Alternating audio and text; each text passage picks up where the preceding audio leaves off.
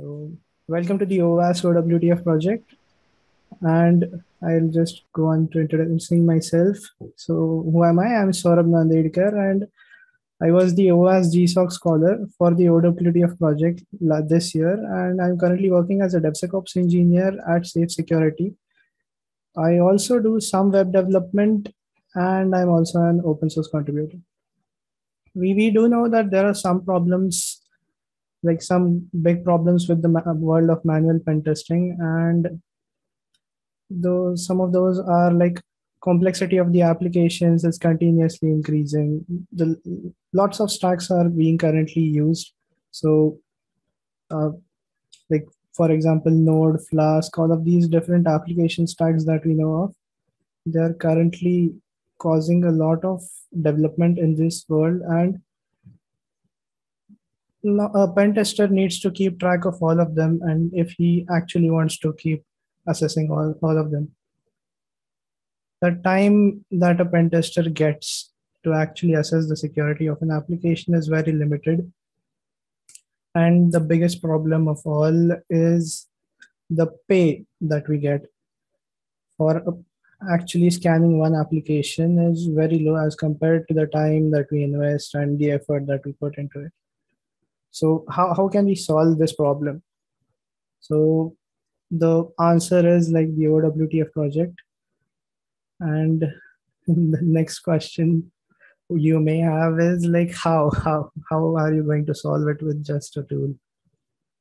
I'll just show it to you in a bit. And the installation steps for OWTF are very simple and you it it has Docker and like base Python installation as well. Very fast, very simple. It is designed for Kali, but you can normally use it on any other operating system as well. And this tool has like two major like interfaces, you can say. So one is the web UI and the other one is like the command line interface. So I'll just go over to the web UI for a bit. And this is what the basic web UI looks like. You have various different tabs and various different options. We'll go over some of them. So a dashboard is where you will see all of your options, like the current scanning results and all of those things. Targets is somewhere you can add your targets. For example, google.com, and it accepts targets line by line. So you see, it also checks for what a particular URL is valid or not, and it will add it, it will check the IP. Then the simplest thing that you can do is go to the run interface, select an application, select all the plugins. So there are two particular menus that you can use to segregate plugins. We'll go over this in a bit, but like this is an individual plugin execution mode. And the another way that you can execute plugins is via plugin groups or by plugin types. So this is about the interface basic interface and we'll just run one.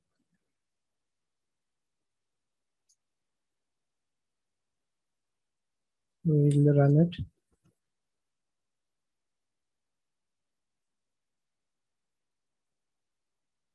And these are added. The scan progress can be seen on the workers pages. You can also see the logs over here. Work list is where we'll see what all modules we selected and what all are executing. And settings is where you can set, customize according to your own requirements, what all you want to execute and all of those things. Network ports. Basically, the tool is very extensible. And let's go back to our slides.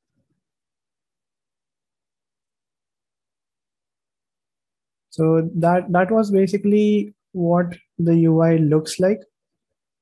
to some extent. And we'll go over to the next slide. So what are like what is the backend? What all things do we need to run this tool? So uh, we, we basically need the latest version of Kali and rest all of the things. It it can basically set it up on its own when you clone it. So the make setup step that we saw before this, that will do everything for you. It has a REST API that you can use along with uh, the React frontend that we just saw. It is all written on Python, so very extensible. You can use Python modules to write scripts and then execute them from the front end itself. So this talk is basically all about the updates that we did, me and my fellow GSOCer, Aman. And the first, the most requested feature for a long time was the authentication module. So I'll just go over to the authentication module in a bit.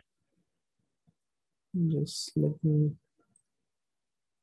go back to the demo page. Thanks to Aman for this feature.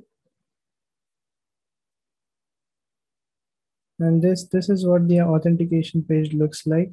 We have forgot password functionality as well. And as well, we can register from the front end itself. It will send you an OTP. And with that, you can also register users from the front end itself.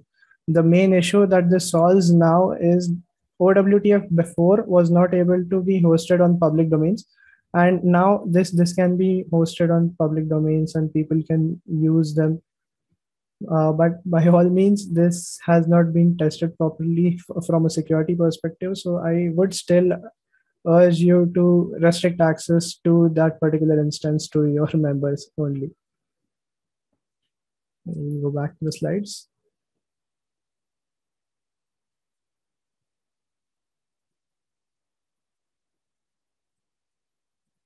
So as I said before, there are three plugin groups, web, net, auxiliary.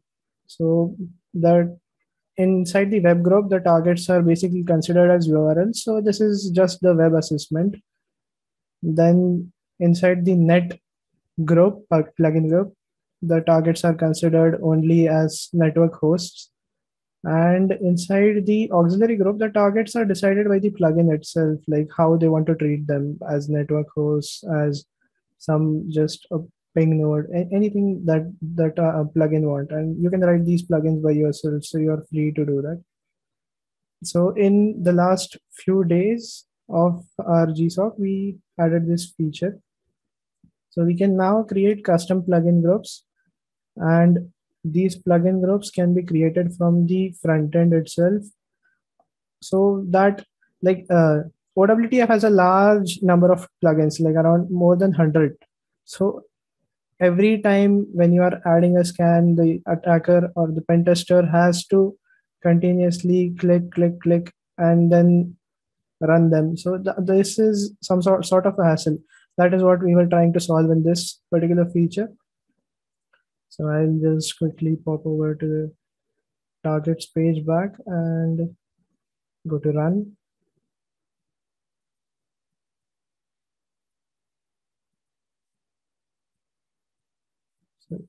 Wrong page. Run and select all of these plugins. I'll add them to the group. We can customize our group name. So I'll just write OWASP, create the group.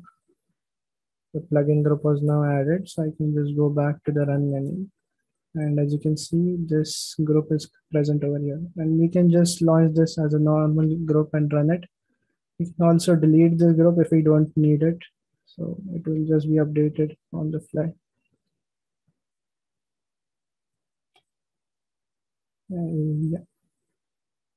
So the next next thing that we were really like having some issues with is the front end ui was very slow so this was what the status was around four months ago. And like this is what we are right now. So what we did is we implemented React lazy loading on each and individual pages.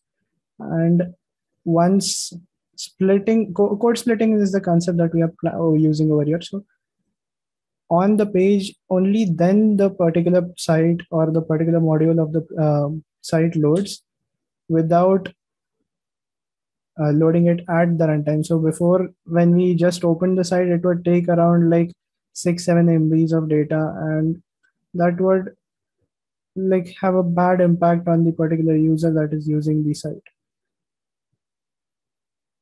So just a sec. Yeah. Like as you can see, this this loads in segments as if you are able to see this. So this is what we have done. And like what are what are the next steps? Like what are we planning?